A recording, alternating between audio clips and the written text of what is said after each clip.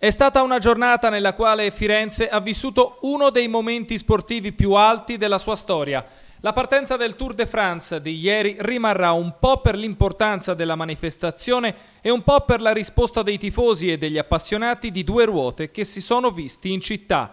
Centinaia di migliaia le persone che hanno assistito al passaggio dei ciclisti, che hanno toccato i punti cardine di Firenze, come Piazza Signoria, Ponte Vecchio, Piazzale Michelangelo e attraversato monumenti e aree simbolo della città.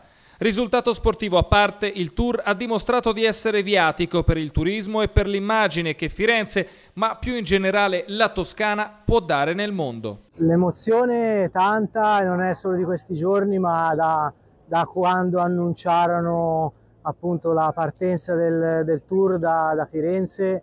Immagino anche oggi i ciclisti passare da questa meraviglia e non capita tutti i giorni. Noi siamo corridori, facciamo parte di una squadra Lavis Zero Positivo, però facciamo anche ciclismo, qualcosa di triathlon e ci è sembrato giusto approfittare dell'occasione e partecipare anche come volontari all'organizzazione del Tour de France perché ovviamente non capita tutti gli anni di poter avere una manifestazione del genere in città.